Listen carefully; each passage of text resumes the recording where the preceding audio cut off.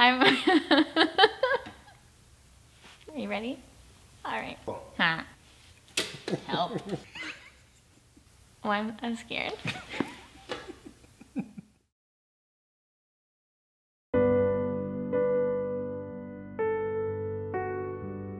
Hi, my name is Krista Van Allen, and I'm going to share a little bit of my story.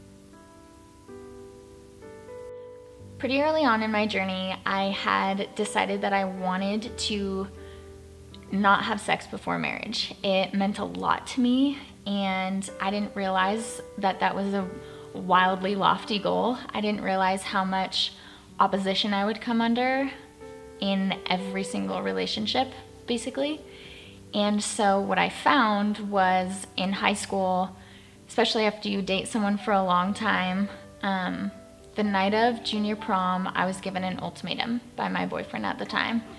And it was either, you know, we're done, or you just kind of throw your conviction out the window. And that caught me by surprise because I felt like this is a guy who cares about me, he knows me, and I think one of the things was he actually didn't know why I held that conviction. And if I were to be honest, I don't think I knew why either. Um, so it didn't take long before I was completely swayed and gave in. And what I found was when I finally told my friends about it, one friend in particular, it was in the bathroom at high school, she congratulated me and she was like, oh my God, you slut and I felt so like horrible. um, wow. So that was never my plan, and I can come from the perspective now of the adult perspective now of like what I wish I would have known. And I think what I wish I would have known is that you have to own your actions either way. Like, you're either gonna be the prude girl or the slut after, so it's kind of a lot of distance in between there. Um, but her saying that, it was almost like this new name tag that I had, and I don't think I believed it, but I didn't know how to be anything other than that, I guess. And um, it planted this seed that I could no longer be pure in any way. And also planted the seed that like guys aren't gonna date you if you don't just do what they want and so those two beliefs led me down a path that I wish I could undo, but I'm glad I learned from it.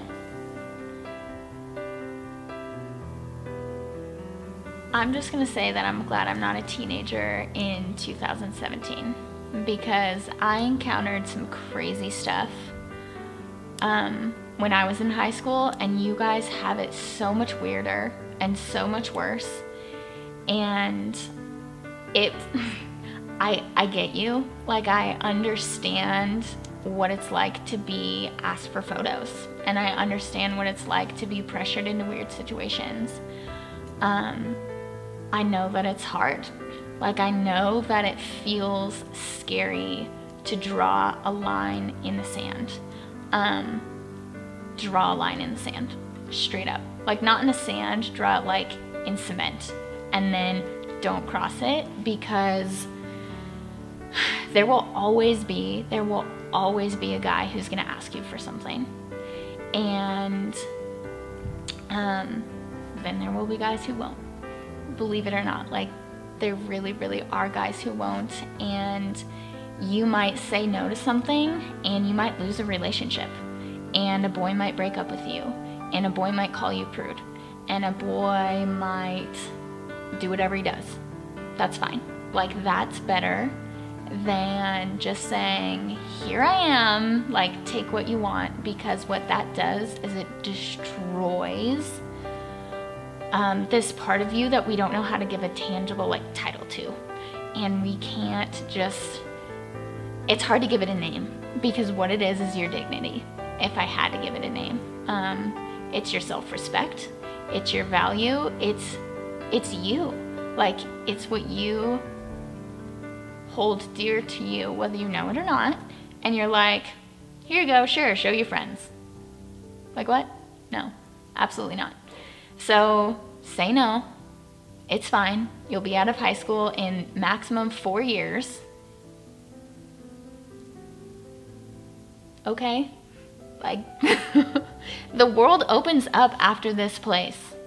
It just does. And then you'll have a college guy ask you for something. So practice right now who you're gonna be and what you're gonna say and how you're gonna hold a conviction because it will happen over and over and over again. And I wish that it didn't, but um, you actually have the freedom to be a woman that you can respect. Like, you are allowed to respect you even if the guys around you don't understand that. I'm as passionate about this as I am because I know where I've been and I know where I am now. And the relationship that I'm in now, it doesn't even, it's not the same color as it, the ones in the past. It's not the same shape. It's not the same texture. Like nothing about it is the same. And there are some pretty primary differences that have absolutely changed my life with this particular relationship.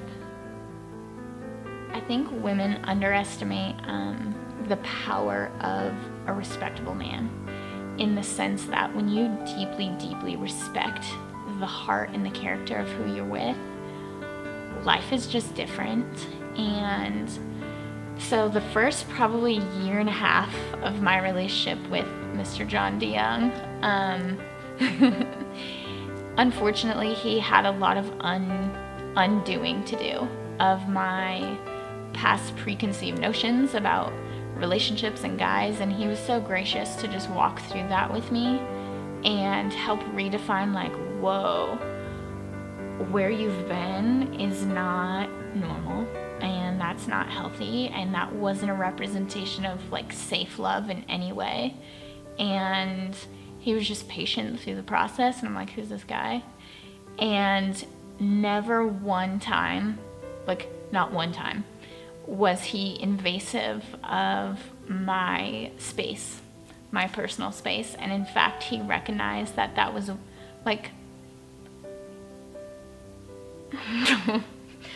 um, he recognized that that was a wounded area and instead of like barging in he like nurtured it and um, that helped a lot.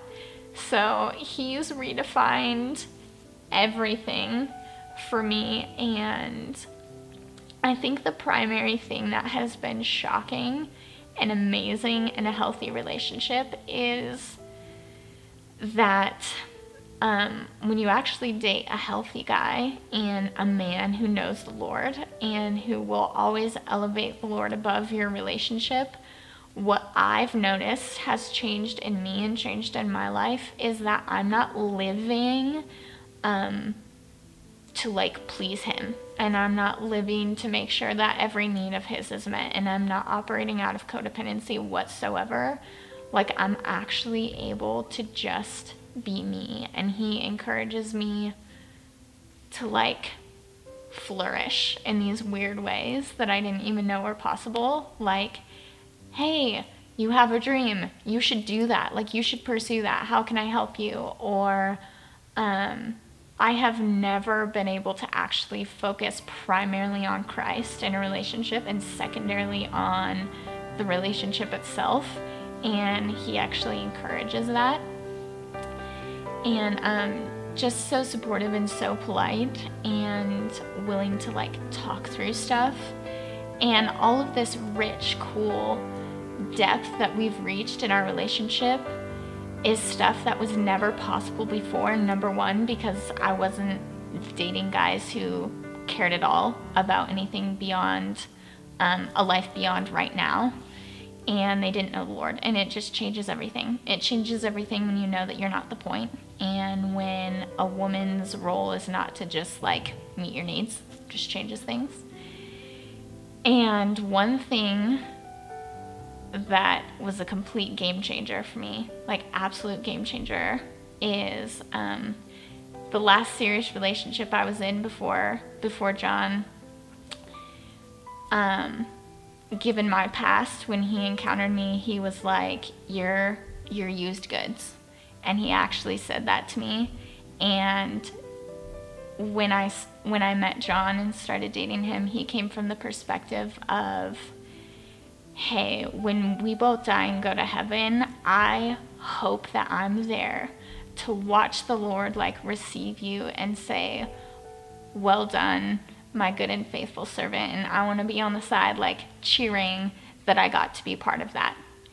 And when he said that, it, I'm like, it's not even the same thing. Like guilt, shame, um, everything that I'd been through before was just completely washed away by like, I want to be part of your well done, my good and faithful servant moment. Like, that's a different kind of guy than the guy who's like, hey, send me a pic.